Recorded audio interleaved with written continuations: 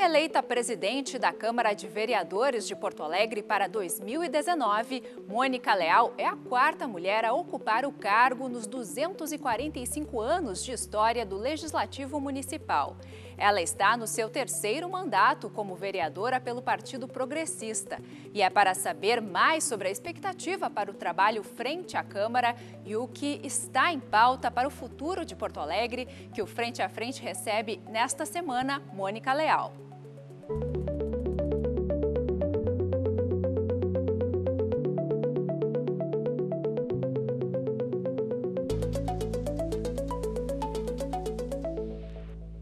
Também participam do programa o diretor-geral da agência Rádio Web, Paulo Gilvani, o assistente de conteúdo da agência República, Paulo Egídio, e a repórter da Rádio FM Cultura, Anália Bart. Boa noite, presidente. Obrigada, então, por participar aqui do Frente a Frente. Eu gostaria, então, de começar lhe perguntando o que você espera né, para este novo desafio e também quais serão as suas prioridades neste mandato. Boa noite, obrigado pelo convite. Como jornalista, principalmente, eu sempre priorizo esses convites de participar, de compartilhar né, com o cidadão porto-alegrense, gaúcho, a minha maneira de ser à frente da Câmara Municipal, como vereadora, enfim, em todas as esferas que eu já atuei.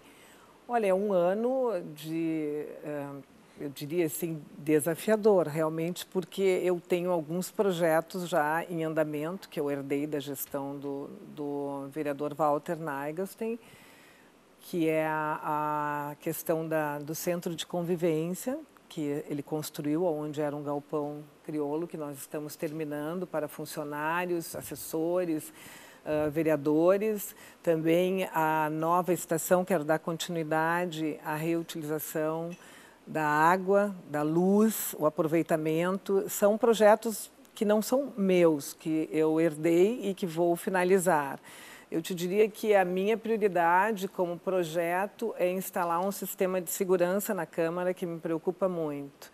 Ainda na sexta-feira, nós tivemos uh, uma situação muito delicada uh, de um ex-apenado entrar no gabinete e uh, isso me preocupa à medida em que a Câmara tem muitas entradas e elas estão muito são de fácil acesso. Então, eu estou trabalhando essa questão sobre um projeto, eh, instalar câmeras também. E eh, depois tem algumas outras questões de ordem administrativa, o quadro funcional, a aposentadoria do, dos funcionários, enfim.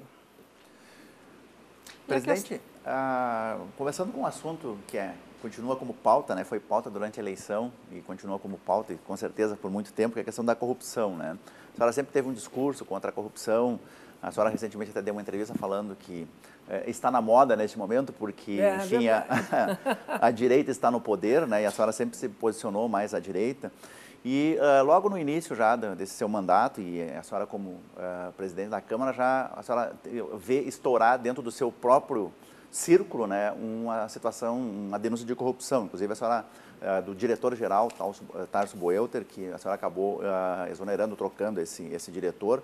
Nós temos agora toda essa situação do filho do presidente, Flávio Bolsonaro, que também ganha muita repercussão em toda a mídia. O seu partido, o PP, é um dos partidos mais envolvidos na questão do, do, do petrolão, principalmente. Como é que é fazer esse discurso contra a corrupção, tendo tanta, tantas situações assim muito próximas da senhora? Que envolvem a questão da corrupção? É, é, é bom, de uma maneira muito fácil, porque é, é, no, a maneira em que tu é, né, como tu atua, no caso, eu aprendi desde pequena, através do meu pai, o sábio Pedro Américo Leal, que a lei é para todos. Não existe mais ou menos lei, assim como não existe mulher mais ou menos grávida. Tu conhece alguma? Não. Então, se a pessoa comete alguma ilegalidade, ela tem que ser punida. Ah, não importa. Eu, inclusive, escutei o presidente Bolsonaro, numa das entrevistas, uh, em relação ao filho dele, dizer exatamente isso. Se não me engano, foram essas as palavras. Se ele errou, eu vou sentir muito como pai, mas ele vai pagar por isso. Ah, então, É, é, é tranquilo para quem uh, tem uh, na sua essência o rigor com o dinheiro público, o cumprimento da lei. Agora, é claro que tu não pode, uh, tu não tem uma bola de cristal. Tu não vai saber se todas as pessoas que estão do teu lado atuam desta maneira. Tá? Mas, vereadora, o senhor Tarso Buelter era investigado desde 2017. Por que, que mesmo assim a senhora decidiu pela nomeação dele como diretor? Por uma razão muito simples. É, ele não é réu. Eu não sou advogada, mas venho de uma família de advogados. Meu marido é advogado, minha filha é procuradora federal. Enfim, eu tenho uma noção muito clara. Ele não é réu, ele foi indiciado. O, o, a, o inquérito terminou nos últimos dias de dezembro. Tá? Então, tu pode ser investigado, mas o inquérito não foi encaminhado para o MP. Este inquérito foi encaminhado para o MP nos últimos dias de dezembro. Eu tomei posse dia 3 de janeiro. Então, não havia tempo para te saber. No que eu soube, que ele uh, estaria sendo indiciado, e mais uma vez registro, não, não como réu, ah, ele vai ser investigado, vai ser a denúncia do MP ou, ou, uh, acontecerá ou não, tá? por enquanto não tem nada. A senhora acredita na inocência dele? Eu vou te dizer que até prova em contrário, todas as pessoas, para mim, elas passam a ser corretas, né? Eu vivi uma situação na cultura, não sei se tu é dessa época da, do jornalismo, que tu é muito jovem, de todos nós aqui, tu é o que mais jovem é. Eu era secretária da Cultura no governo Ieda Cruzes e eu fui surpreendida com uma fraude, com um desvio de 5 milhões, tinham falsificado a minha assinatura. Tá? Então, é, é, é, na minha vida política, foi o pior momento, eu nunca imaginei que isso fosse acontecer. Aí tu me pergunta, uh, mas era possível uh, prever uma coisa dessas? De forma alguma. Tá? Então tu tem que denunciar. Tu, eu tinha duas alternativas ali. Denunciava no MP ou ia na governadora uh, solicitar, levar ao conhecimento dela e possivelmente eu teria como recomendação uma sindicância administrativa, que não me resolveria nada. Tá? Ficaria interno. Tá? Era o meu nome. Eu levo isso muito a sério. Então, eu fui no IP, na época era o doutor Mauro Renner, fiz a denúncia, oito pessoas indiciadas, demorou, um ano e meio, acho, oito pessoas indiciadas, três pessoas presas, entendeu? É claro que poderia não ter dado em nada, né? mas deu. Eu, eu conferi os documentos, era uma assinatura falsificada. Em relação a essa questão ainda da. Ah, eu, eu, eu te... É, não, da corrupção. Eu queria que a senhora respondesse. A senhora nunca pensou em sair do PP diante de todas essas denúncias que houve em relação ao PP? Sabe, eh, Paulo Giovanni, que eu, eu penso de uma forma assim, ó. Uh, os partidos, eles. Quem, quem faz a corrupção são as pessoas. Eu posso ir para um outro partido tá? e ter pessoas também que cometem a corrupção. Eu vou pelo meu partido nas seguintes pessoas: João Antônio Dibe, Jair Soares, Guilherme Vilela, eh, Francisco Turra. Tem muita gente honesta. Tá? Então, eu não posso uh, me basear que o PP é de gente desonesta. O meu pai foi Arena, PDS, Pedro Américo Leal. Então, eu, eu não posso ir por essa linha de que o PP é de pessoas desonestas. Não, estas pessoas elas têm que ser punidas e expulsas do partido. Eu sou dessa linha. Tá? Agora, daí acontecer, tu tem um, um, processo que é lento na justiça, tá? Uh, e tem que, ser, tem que se ter uma, uma atitude de executiva firme e forte. Tá? Agora, eu nunca pensei em sair do meu partido porque tem algumas pessoas que são desonestas, porque eu tenho muitas pessoas que são honestas. A Ana Amélia é um exemplo de honestidade, de trabalho, a senadora Ana Amélia. Então, eu nunca pensei, ah, vou sair porque uh, tem gente desonesta. Em todo lugar tem gente desonesta. Vamos lá, na, na, no empresariado, o escândalo do leite. Na saúde, o escândalo das próteses. Botaram próteses de terceira, ah, como se fosse de primeira, no corpo humano. Ah, na justiça tem, enfim. Então, se eu for por essa linha, ah, não tem área. Em todas as áreas tem corrupção. Ah, só que tu não pode deixar, tu não faz concessões. Eu não faço. Tá? Cometeu alguma ilegalidade, punição e está fora.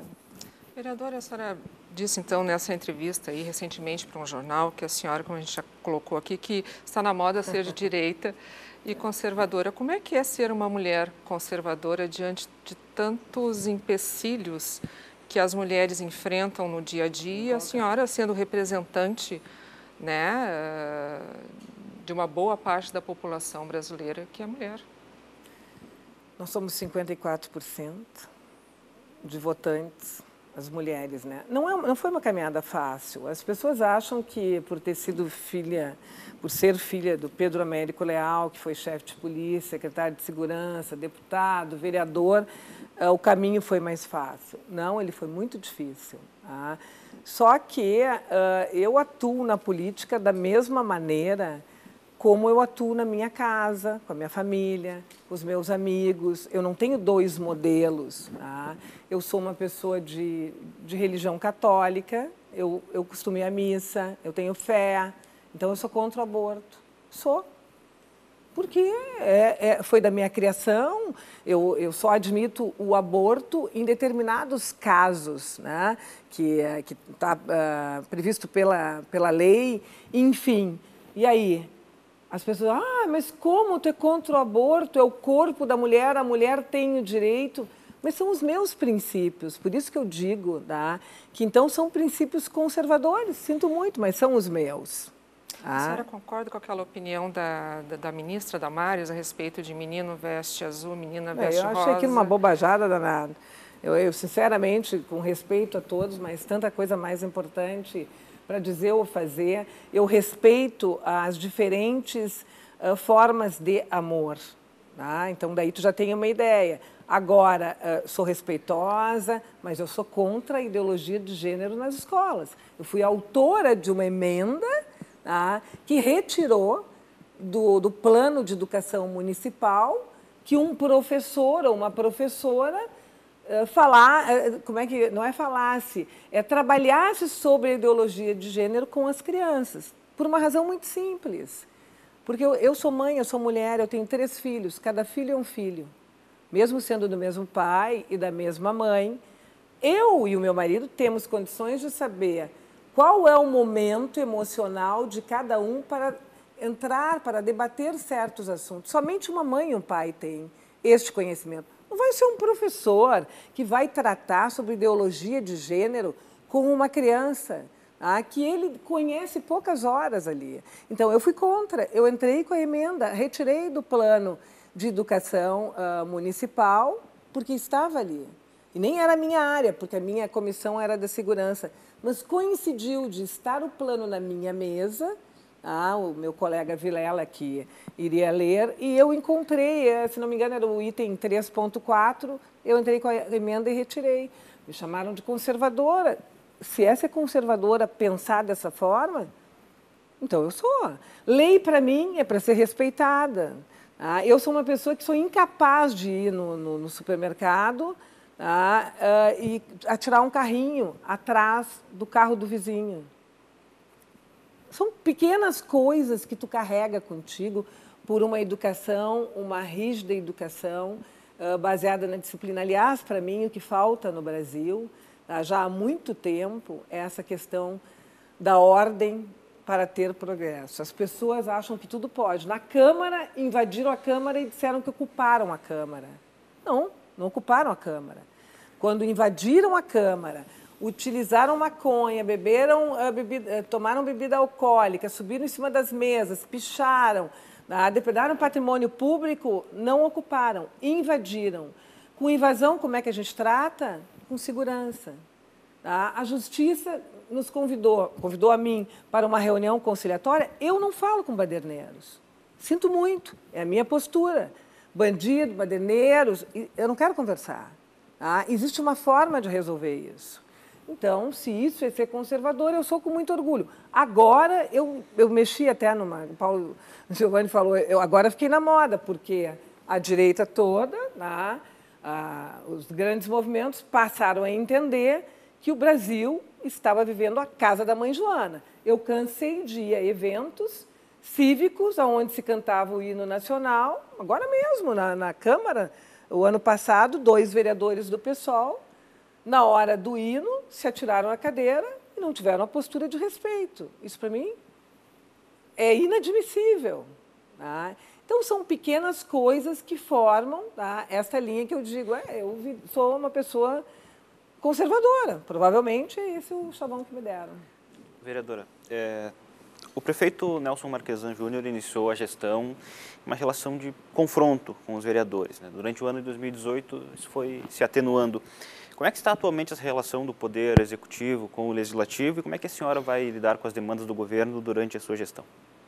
É, ele começou o, o mandato dele bem complicado, né? Uh, numa, numa dificuldade de comunicação com o legislativo. A impressão que me deu é que o prefeito Marquesan ele uh, tinha uma experiência de gabinete e não uh, uma experiência, ele não se eu acho que ele, ele teve um choque ao entrar no executivo, que é bem diferente, ele lida com vários secretários, com o poder legislativo, e eu deixei bem claro que o poder legislativo, a Câmara é autônoma, ela é independente. Nós temos 36 vereadores, uh, várias siglas, várias ideologias, e mesmo nas mesmas siglas, é bem comum a gente encontrar vereadores que pensam cada um de uma maneira. Então, ele teve grande dificuldade, teve um momento de agressões e uh, encontrou ali uma não aceitação dos vereadores, né? De forma alguns até se posicionaram. Eu fui uma que me posicionei imediatamente. Não aceito, até porque a minha natureza é uma natureza positiva e cuidadosa, respeitosa. Eu aceito divergências, eu eu aceito discutir e gosto do debate. Ah, mas de forma educada, respeitosa. Tu saiu da tribuna, tu saiu de um debate, as pessoas elas é, precisam ser né, respeitadas. Então, eu tive dificuldades no início, falo por mim, e vários vereadores também. Mas eu vejo que ele está se esforçando, ele, ele, ele está num, num outro processo uh, de querer uh, diálogo com a Câmara, que é muito importante. Tu não pode vetar um projeto sem antes informar o vereador. Uh, são várias pequenas questões que levaram a muitas dificuldades. O projeto do IPT1 é um deles, né?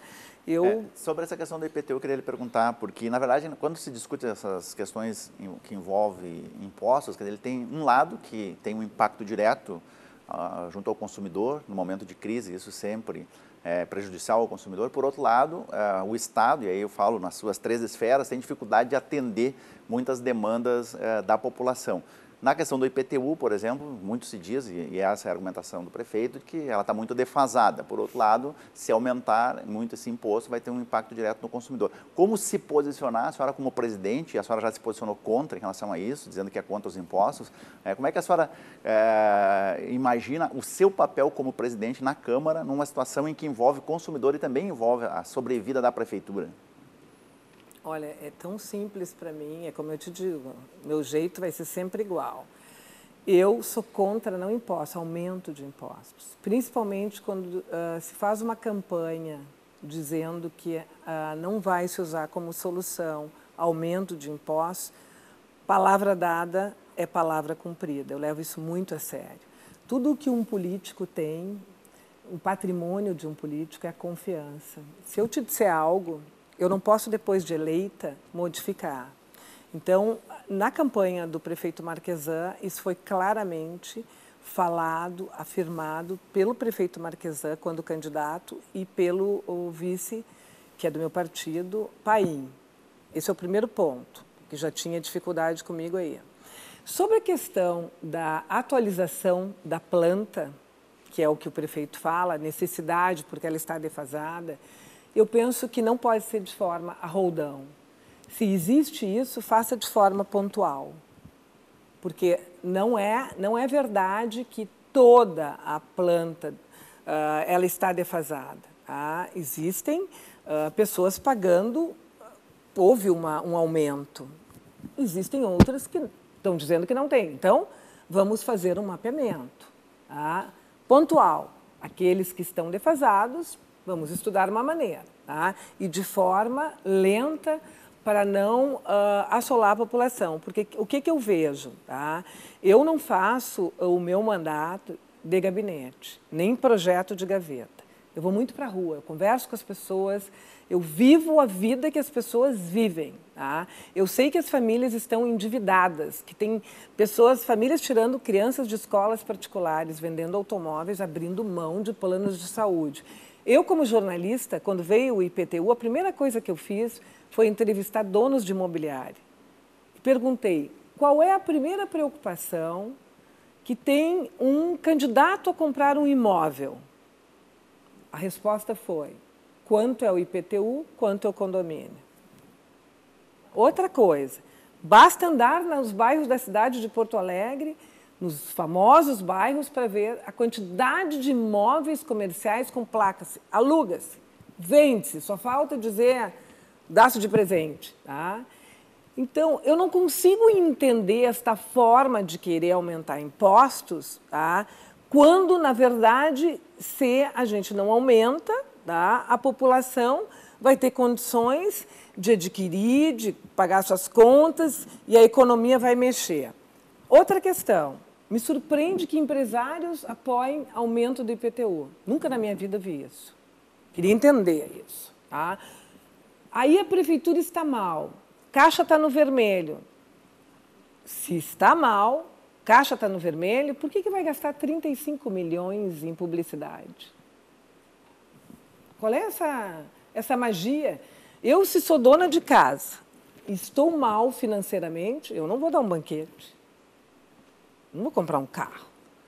Agora, a sua bancada apoiou o aumento de impostos na Assembleia Legislativa em vários governos. A, a sua bancada, bancada, que eu digo do seu, do, do seu partido. Dos deputados do PP. Sim. Não é a bancada da Câmara de Vereadores, Câmara falando, de Vereadores. Me, referindo ao seu partido na Assembleia é, Legislativa, né? Reiteradamente tem sido a favor. É, temos temos diferença. Eu não apoiaria aumento de impostos, mas os deputados, eu, não, eu, acho que não todos, mas alguns, né? Eu não me lembro. Agora, esse projeto do IPTU, ele já foi rejeitado pelos vereadores, mas deve voltar para a Câmara Agora, nesse ano. daqui um pouco. Uh, a senhora vê possibilidade de aprovação desse projeto na Câmara ou ainda tem muita resistência? Vejo, eu vejo uh, grande possibilidade, porque uh, o prefeito está conseguindo aumentar a sua base de apoio nesse projeto. Então, ele pode ser aprovado. Tá? O meu voto continua não, porque eu cumpro religiosamente a minha palavra. Eu, desde o início, disse que não apoiaria nenhum tipo de aumento de impostos. Outro ponto nevrálgico também é essa questão das mudanças nas carreiras dos servidores. Como é que a senhora vê essa, é, eu até questão? Recebi isso, mas ainda não me. É a revisão do quadro uh, na, na, Câmara, no que diz do quadro funcional, e na, na Prefeitura é a revisão das carreiras. Né?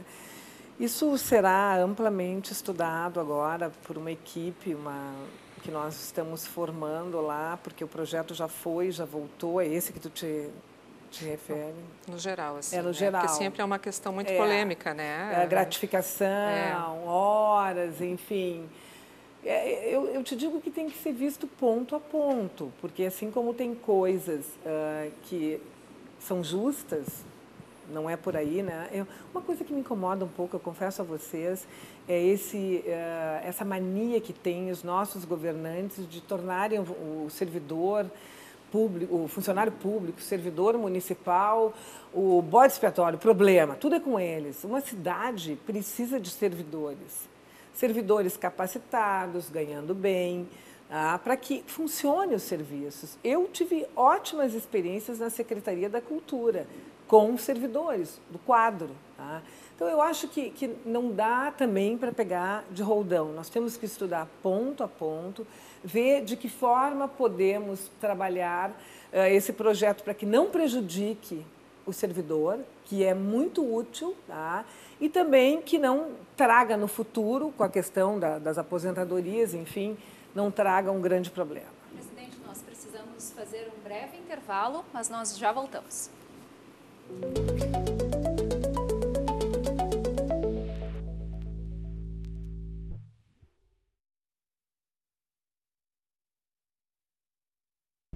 Estamos de volta com o Frente a Frente, que hoje conversa com a presidente da Câmara de Vereadores de Porto Alegre, Mônica Leal. Bom, presidente, nós falávamos no bloco anterior sobre os servidores municipais. Uh, nós vimos no ano passado muitas votações em que houve confrontos com os servidores, com a Brigada Militar. Como você, como presidente, vai lidar com esse tipo de situação? É, é, é tão clara a minha posição uh, para todos os servidores, porque eu fui uma servidora, eu trabalhei, uh, eu, não, eu não cheguei como vereadora, né? eu fui uh, funcionária há 12 anos na Câmara Municipal, eu comecei no primeiro dos cargos, eu costumo dizer que é que nem o Zafari, assim, eu entrei de assessora da assessora, porque naquela época eu trabalhei com meu pai quando podia e uh, somente depois de 12 anos é que eu me tornei chefe de gabinete e nesse último mandato dele é que ele decidiu não mais concorrer. E aí uh, deu a notícia na imprensa e eu confesso que nem eu mesma pensava nisso porque como eu sou formada em jornalismo eu sou pós-graduada em ciência política eu tinha objetivos de ir para o rádio que na, na comunicação é um veículo que eu gosto muito mas acabei me envolvendo e gostando, e, e, eu sempre tive essa conduta com as pessoas que trabalham, em que pese muito posicionada, muito uh, respeitosa, mas eles sabem que a qualquer, uh, a qualquer avanço contra todas as pessoas que convivem comigo, contra algo que fere a lei, uh, que fere uma instituição, é claro que eu teria posturas imediatamente de colocar ordem.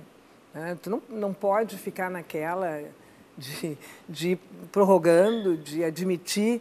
A, a Câmara Municipal é, um, é uma casa legislativa. Eu vou te citar como exemplo. Quando houve a questão da Avenida Castelo Branco, que para mim foi uh, o maior exemplo de uma ilegalidade cometida numa casa que faz leis, tá? eu ganhei na justiça justamente defendendo essa tese. Eu não vou discutir aqui ideologia política, que é o que fizeram. Tá? Eu vou mostrar para todos tá, que cometeram uma ilegalidade, porque tu não pode trocar o nome de uma avenida ferindo tá, a lei orgânica, Entendeu? Então, eu respeito muito essas questões. Eu vou atuar da maneira como tem que atuar. Solicitar que as pessoas tenham educação, respeitem a instituição, mas se houver baderna, eu não posso fazer nada, né? Existe força de segurança para isso. A senhora não corre o risco de ter uma gestão em pouco tempo, de, de, de um ano, de ficar só preocupado ou somente, ou, ou na ponta, muito preocupado com a questão de segurança dentro da, da Câmara de Vereadores? Não, eu estou respondendo o que me perguntaram, né? Se, se me perguntar, por exemplo, qual é a minha grande preocupação em termos da cidade, eu vou responder.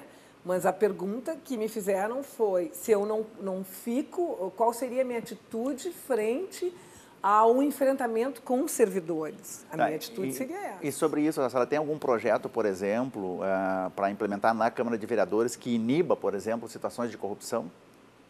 Tenho eu trouxe uh, para trabalhar comigo um auditor do quadro da prefeitura, que uh, tem 24 anos uh, de experiência justamente em transparência, em gestão, está fazendo um projeto e vai me apresentar semana que vem já temos assim algumas informações surpreendentes. As coisas têm que bater. Tu tem que entrar no portal da Câmara, o cidadão, e acionar rapidamente, eh, saber quantos funcionários tem, eh, como eh, eles estão recebendo, se existe uma fonte, duas fontes. O projeto de transparência é minha prioridade. A senhora seria contra esse, esse decreto que foi assinado hoje, portanto, pelo general Hamilton Mourão, que está no exercício da presidência, que de certa forma, impõe né, sigilo a algumas questões de, que muitas pessoas estão achando que é um ataque à transparência e que cargos de confiança poderiam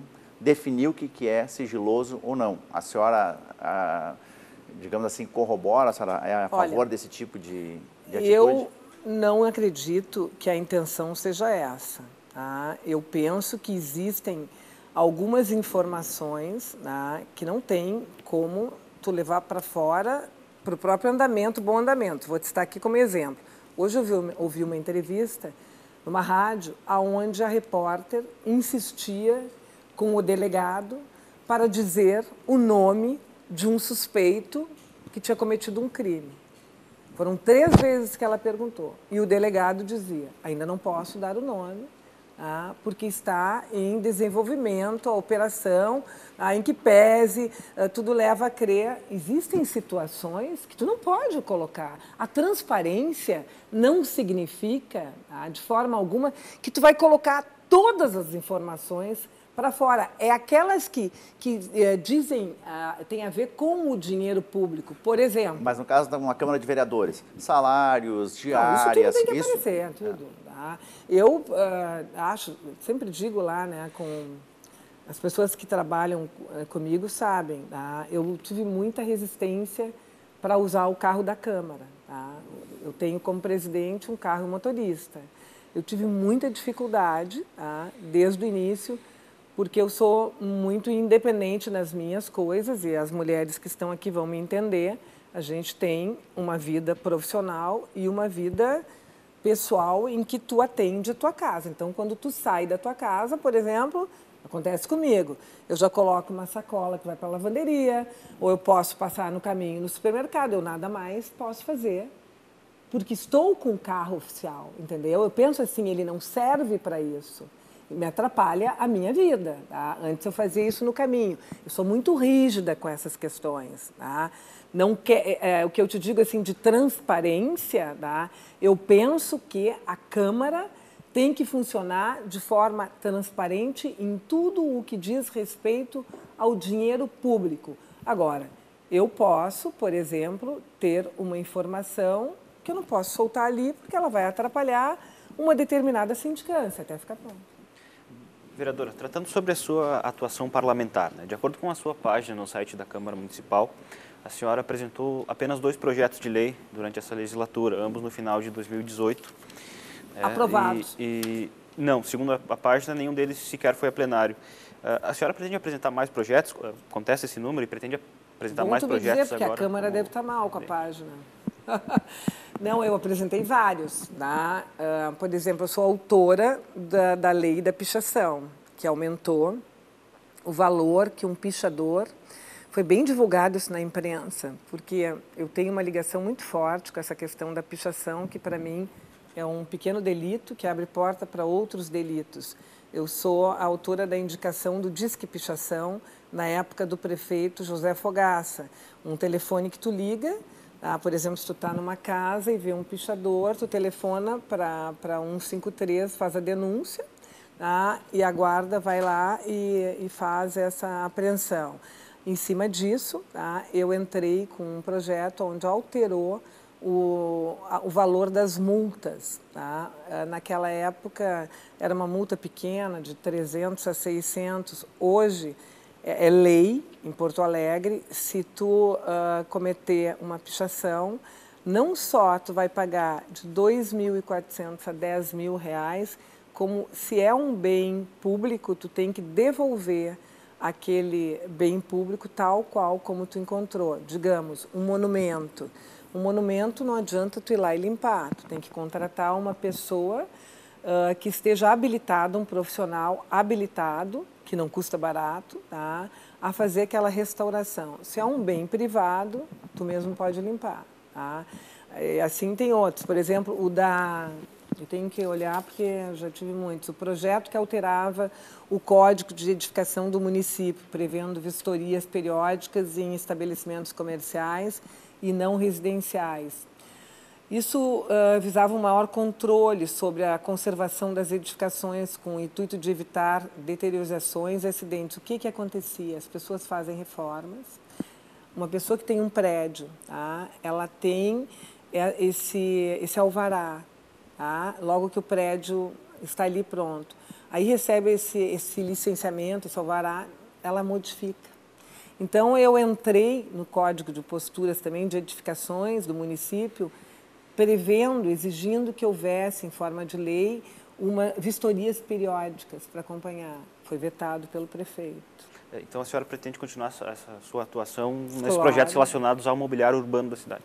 Eu sou muito ligada ao mobiliário urbano. Eu fui contra aquele projeto do prefeito Fortunati, eu era líder da bancada, onde ele tombou grande parte do bairro Petrópolis. Eu achei um absurdo aquilo. Então, tu imagina, tu tem uma casa no bairro Petrópolis, teu único bem, tu acorda, está tombado. Tá? Eu fui secretária da Cultura, eu sei muito bem que para tombar um, um, um, uma casa, tu tem que ter todo um histórico, não é assim. Tá? Então, além de eu, como vereadora, fazer projetos, tá?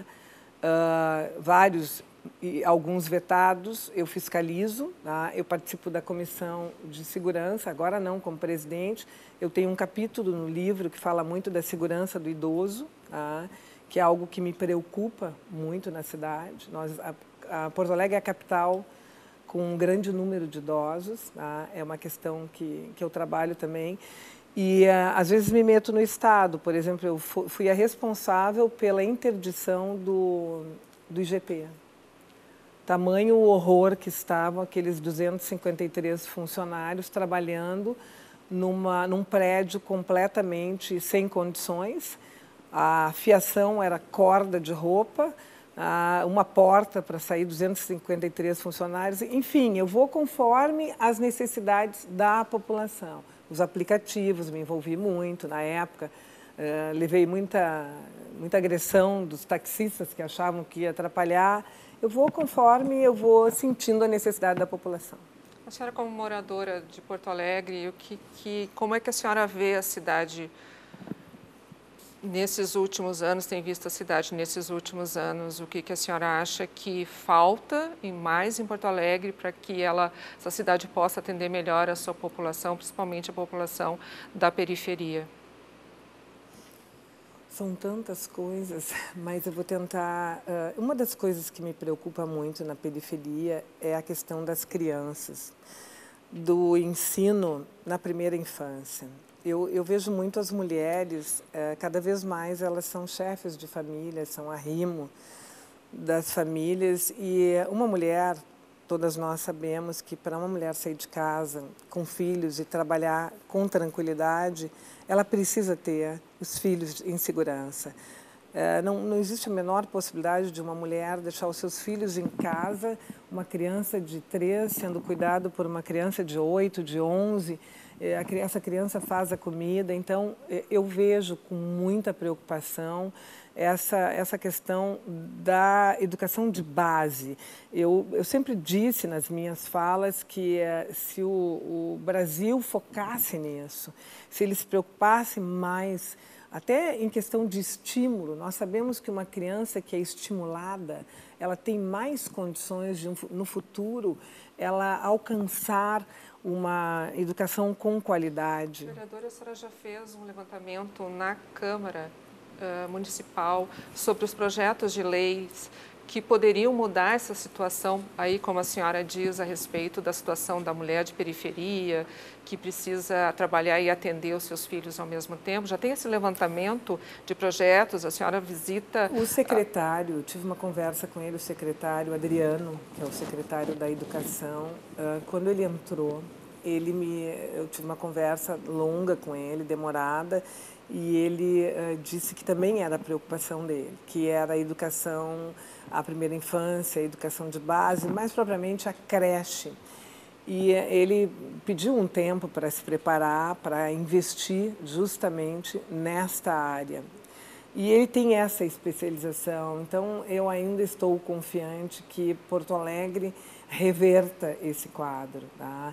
E se eu, digamos, uh, fosse uma gestora se um dia eu chegar a ser prefeito, eu quero deixar claro que não tenho esta intenção para não sair daqui uma manchete dizendo que eu sou candidata, ah, eu investiria na periferia justamente na educação de base. Eu lembro muito bem que quando eu fui secretária da Cultura, as pessoas estranharam que o meu primeiro projeto foi levar para a periferia projetos culturais uh, que despertassem a vocação nas crianças e adolescentes. Eu mapeei a, as zonas né, no Rio Grande do Sul com maior índice de violência e nós entramos com projetos de fotografia, de teatro, de leitura, de música e foi um resultado fantástico porque nós encontramos muitas crianças com talentos. A gente despertou as crianças para aquela, aquelas áreas e isso foi muito legal. Então, eu, se tivesse alguma oportunidade, retomaria essas questões. Nós precisamos afastar, eh, primeiro, dar segurança às mães que possam trabalhar né, com tranquilidade, tendo os filhos seguros. E outra questão é deixar longe as nossas pré-adolescentes adolescentes do perigo da droga. Eles precisam sentir-se importantes por seus talentos, por suas vocações e não pela arma, pela droga. Uh, a senhora uh, tocou agora há pouco aqui na questão do, do da polêmica da Avenida uhum. Castelo Branco, né? E a senhora disse, não, não é uma questão ideológica. Mas, no fundo, ela é uma questão ideológica, né? Porque ela foi, né? ide ideologia é um conjunto de ideias, né? Nós tivemos recentemente um, um, presidente eleito dizendo que era contra a ideologia e, para isso, apresentou um conjunto de ideias. De ideias. Então, até ser contra a ideologia é ideológico, né? E a senhora tem uma formação nessa área, sabe como é que isso funciona. Uh, e eu queria saber como é que a senhora trata essa questão da ideologia no seu mandato e como é que a senhora, como presidente da Câmara, tendo essa responsabilidade de representar os outros vereadores, a senhora pretende discutir essa questão da ideologia? Porque hoje me parece que a gente vive uma situação de muito conflito nas redes sociais, até as famílias né, uh, se separando por causa de, uma, de, discussões que, teoricamente, alguns são contra e outros a favor da ideologia. Mas não, na verdade, a partir do momento que eu sou contra uma ideologia, eu, tô, eu também estou, de certa forma, exercitando né, um processo ideológico. Como é que a senhora avalia toda essa situação que ocorreu uh, nesse período pré-eleitoral, que ainda continua acontecendo agora, uh, principalmente na avaliação se o governo Bolsonaro está bom, se não está bem e tal? Uh, isso, isso, permanece, né? Esse conflito permanece. Só é para é? completar a questão que a senhora falou, que foi uma questão ideológica, ali a mudança do nome da, da nossa avenida de entrada para Porto Alegre, mas não tem, não tramita na Câmara um projeto da bancada do PP que propõe o nome para uma pequena via sem saída do bairro da Zona Sul, uh, o nome que era legalidade, e democracia. Isso continua sendo uma questão ideológica? Não, agora eu já respondo uma, já respondo outra. Tá a tua pergunta é mais, a resposta é mais objetiva. Na questão da, dessa rua Democracia e Legalidade, tá? o vereador Nedel, que é o, o, líder da bancada, achou por bem uh, contemplar os vereadores tá? que tinham perdido né, o nome dessa com esse nome com outra rua. Tá? Então, ele que é o, digamos assim, o, o, vereador que mais se dedica à questão das ruas, né?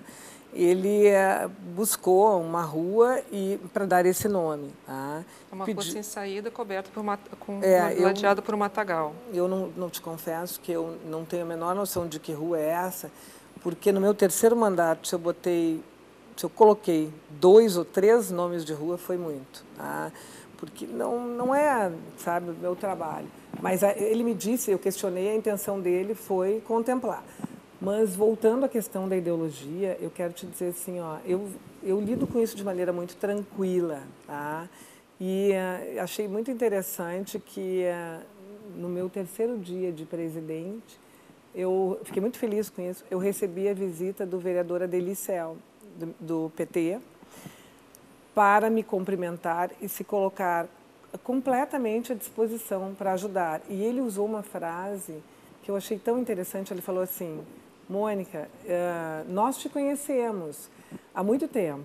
Uh, como vice-presidente, que eu fui vice, né? Já deu para ver o teu jeito de agregar, de, de diálogo. Então, agora como presidente vai ser melhor ainda. Tá? Quando eu fui secretária, o, a Delicel também me visitou. Tá? A vereadora Sofia foi na minha posse de presidente, disse que jamais faltaria. Então, eu tenho, é, eu transito em todas as áreas justamente porque eu deixo muito claro tá, que eu entendo, eu sei tá, que a ideologia é um direito que tu tem, tá, eu respeito, eu debato, tá, mas é uma forma, como é que eu vou dizer, cuidadosa. Tá? Vamos lá, na Castelo Branco. Tiraram o vereador Pedro Ruas e a vereadora Fernanda Melchiona, entraram com o projeto retirando o nome da Avenida Castelo Branco para colocar a Avenida da Democracia, não tinha legalidade. Tá? E aí, uh, o que, que aconteceu? Tá? O discurso todo o tempo, se vocês fizerem uma pesquisa, era que o Castelo Branco era um ditador, era um torturador, era um assassino, enfim, uma série de coisas. Tá? Que não poderia, na entrada da cidade, ter uma avenida com esse nome. Eles abriram essa questão ideológica. Tá? Bem, aí eles, para pegar o apoio do PDT, eles colocaram, tá? e também porque havia uma duplicidade né, logo no início, eles colocaram uh, legalidade, democracia e legalidade. Então, o que, que eu fiz? Tá? Eu fui na parte da, da lei. Eu fui, uh, eu encontrei furos na lei. Tá?